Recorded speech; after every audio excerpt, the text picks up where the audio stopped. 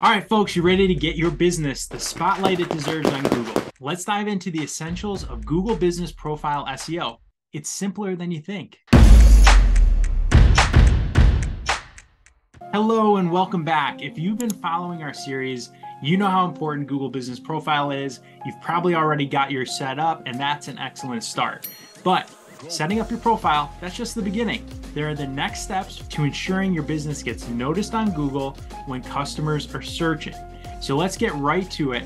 How do you optimize your profile effectively for SEO? First, why optimize? So, with the majority of internet traffic coming from mobile phones, your business needs to be readily visible and accessible across all devices. Have you heard of micro moments? When potential customers are in their micro moments, all that means is those times when they quickly grab their phone and want to know, hey, I'm going to buy something, I need a service, I want to do something, right? That's a micro moment. You want to make sure that your profile is optimized to meet their needs. So your business is the one that comes up when they say, hey, I want to buy this service or I'm looking for this product, right? That's their micro moment. So now let's walk through each step of optimizing the process. Step one fully populate your profile. Think of Google Business Profile as your business's digital storefront. It's your website before your website. You want to provide as much information as possible. Why is that so important? Because Google prefers to show complete profiles in their search results. Think about it, it makes sense. If you use Google and you pulled up things and all the profiles were empty, that wouldn't be very much help to you, right? So Google favors the profiles that are filled out. Makes sense.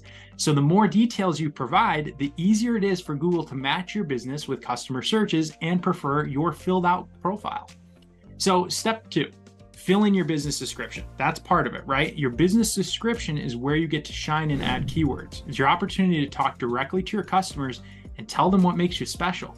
Use all 750 characters. Use all that real estate to highlight what you do, why you do it, where you do it, this doesn't just help Google understand your business, it also helps customers know that you're the right choice, right? Step three, keep your hours updated. This might seem small, but it's critical. Incorrect hours can lead to a bad customer experience, or if someone visits your business or tries calling when it's closed and they don't know it's closed because your business hours are wrong on Google, it's going to lead to a bad experience. You're going to lose the opportunity to have that customer. So always keep your operating hours up to date, including any changes for holidays or special events. Step four, make sure you're choosing the right business categories. This is pretty essential when it comes to optimizing for SEO. Categories help customers find accurate and specific results. So, for example, if you run a bakery that specializes in wedding cakes, make sure wedding bakery is one of your categories.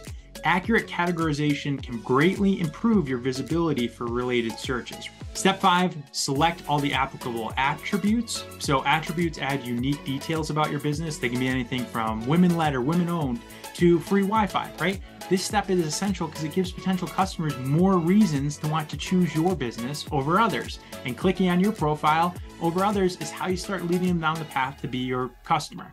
And step six, don't forget to do this. I know it can be a pain in the butt, but you don't want to forget this vital step.